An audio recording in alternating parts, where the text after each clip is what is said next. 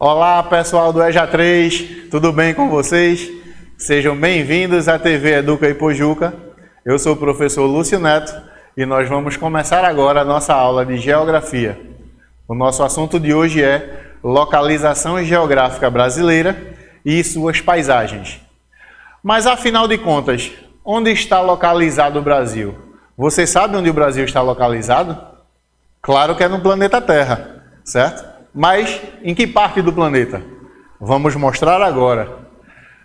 Aqui a gente tem aqui um planisfério onde a gente mostra o nosso país, Brasil, que está em sua maior parte situado abaixo da linha do Equador, certo? E totalmente à esquerda do meridiano de Greenwich. Então, a gente está no hemisfério sul, em relação à linha do Equador, e no hemisfério oeste, em relação ao meridiano de Greenwich. Ok? Vamos falar agora das zonas climáticas e onde o Brasil está situado dentro delas. Nós temos aí a zona intertropical, que é essa faixa do meio mais escura, onde o Brasil está quase que totalmente localizado nela. Nós temos as zonas temperadas ao norte e ao sul, e nós temos as zonas polares também ao norte, no Círculo Polar Ártico, e ao sul, no Círculo Polar Antártico. Falando da localização brasileira, nós estamos dentro da área intertropical e apenas uma parte dele na área temperada, onde a gente tem o clima subtropical. Ok? Nesse mapa, a gente vê aí quais são os pontos extremos do nosso país. Então, ao norte, a gente tem a nascente do rio Ailã. Ao sul, a gente tem Arroio Chuí, no Rio Grande do Sul.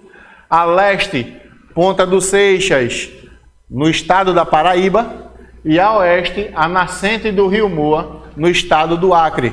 Então, esses aí são os pontos extremos do Brasil, certo? O extremo norte, sul, leste e oeste.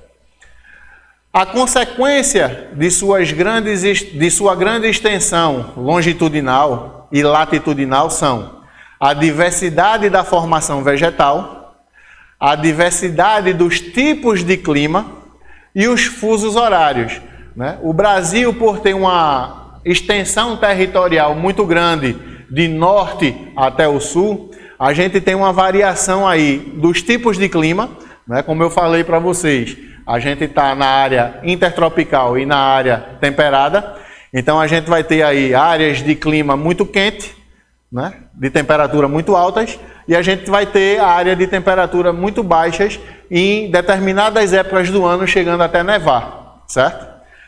A gente tem também, por conta dessa extensão é, longitudinal, a gente tem os fusos horários.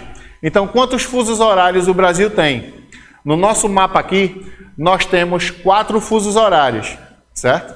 A gente tem o fuso horário das ilhas né, brasileiras, a gente tem o fuso horário nessa parte verde, que é o horário de Brasília, que é o horário oficial do nosso país. Nós temos o terceiro fuso horário, que atinge os estados do Mato Grosso, Mato Grosso do Sul, Roraima, Rondônia e Amazonas. E nós temos o quarto fuso horário, que atinge especificamente o estado do Acre e uma pequena parte do estado do Amazonas. Isso quer dizer o quê? que cada área dessa a gente tem a diferença de uma hora de uma para outra. Outra coisa é que a gente tem o limite prático e o limite teórico.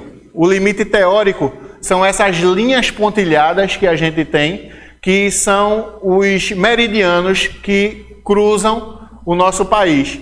Mas o limite prático, ele obedece às fronteiras dos estados, limites estaduais, para que dentro de um mesmo estado a gente não tenha duas horas, dois horários diferentes. Ok? Bem, pessoal, com isso nós encerramos a nossa aula de hoje. Eu espero que vocês tenham entendido tudo aquilo que a gente conversou e eu aguardo vocês na nossa próxima aula. Valeu!